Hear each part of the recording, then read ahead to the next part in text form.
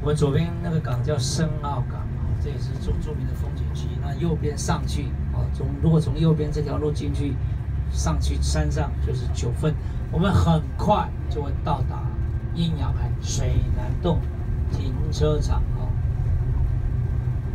深澳以前叫做环澳，我想这也是很重要的哦。那我们看一下，来各位，我们看到海岸上有个石头很大哦，那那是什么？啊，龟山岛，有看到？我们看到海岸上会有个石头非常大，因为今天看不到到。你有没有看得到哦？那个是基隆，基隆基隆屿，对不对？嗯，哦，你不要这样想说，还要再强调吗？南部我告诉你，一堆岛屿上来呀，以前不熟的时候，哦，我们看到龟山岛了哈。这里看不到了。我们要看龟山岛还很远啊。那请问一下，我们现在看到这个基隆里的海叫什么海？东海，你们来猜猜看叫什么海？东海东海吗？确定？不是太平洋吗？还没有。哦，没有错，我们现在看到的海不叫太平洋，很多人还是搞不清楚哦。酝出来就看到说这个叫太平洋，错，这个海叫东。东海很大哦，东海到哪里？东海一直到山雕角都是东海哦。可是很多人真的不知道，只要开上台二线走东北角，就说哇，这太平洋真的非常的漂亮哦。我们要看到太平洋还远了，要到对三雕角以下才叫太平洋。这里是东海，说要到宜兰才是太平洋。嗯，这里是东海，这里是东海。那这里的东海出现几个海洋资源不同的地方，哦，因为它不是太平洋的黑潮，它是？所谓大陆的青潮，所以海资源是。不太一样。等一下我们上去阴阳海的时候，你看一下就知道。那我会简单的给你介绍。我们到了阴阳海，会让你下车上石油点，然后走路，最后请原路回来，回到游览车上来。最后请原路回来，回到游览车上来。我会跟你报告几点回到车上来。那我们会上去，大概会介绍哪里？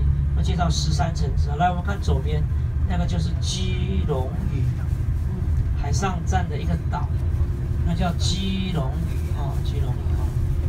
这个地方要争要争议哦，有非常大的啦，就好像那个什么，我们最近不是国土也在讲吗？哦，那个到底要叫鸟还是叫叫？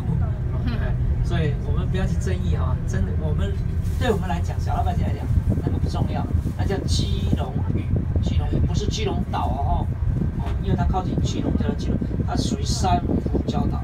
台湾有很多珊瑚礁形成的岛屿，像小琉球，小琉球，哦，也是标准的珊瑚礁岛。哦，南屿有一部分也是珊瑚礁岛，绿岛也有部分。所以到他们那边去看，主要就是看珊瑚礁，甚至于到了垦丁、垦丁社顶公园还是看珊瑚礁。也就是说，这个地方就在在都证明，科学家科学家的认知，在一亿八千八百万年前，台湾还沉在水里面。一亿有没有有没有晓得一亿八千八百万年大概是多久？